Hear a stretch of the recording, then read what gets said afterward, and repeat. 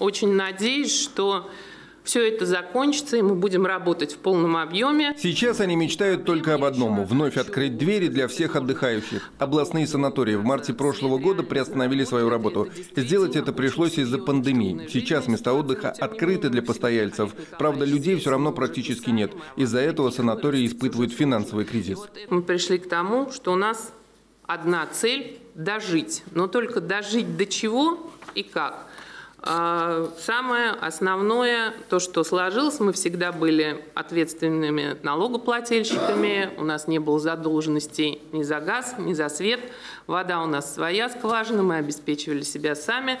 Но на данный момент, уже с декабря месяца, мы ведем активную работу и общаемся с руководителями «Газпром» и «Межрегион Газ» и «Саратов Энерго» по поводу того, что мы понимали, что у нас будет складываться задолженность. Доходы санаториев упали, а расходы не стали меньше. Это зарплата сотрудников, аренда и содержание зданий, налоги, коммунальные расходы. Эта проблема была озвучена на встрече предпринимателей с Вячеславом Володиным. После этого региональная власть разработала ряд мер поддержки. Во-первых, нужно субсидировать санатории и обеспечить их всем необходимым для профилактики коронавируса. Во-вторых, продавать путевки в санатории по принципу «мать и дитя». Сейчас данное направление организовано только на базе наших подведомственных нашему Министерству социально-оздоровительных центрах.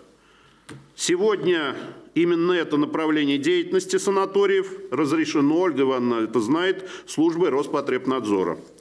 Мы готовы внести изменения в региональную нормативно-правовую базу в кратчайшие сроки.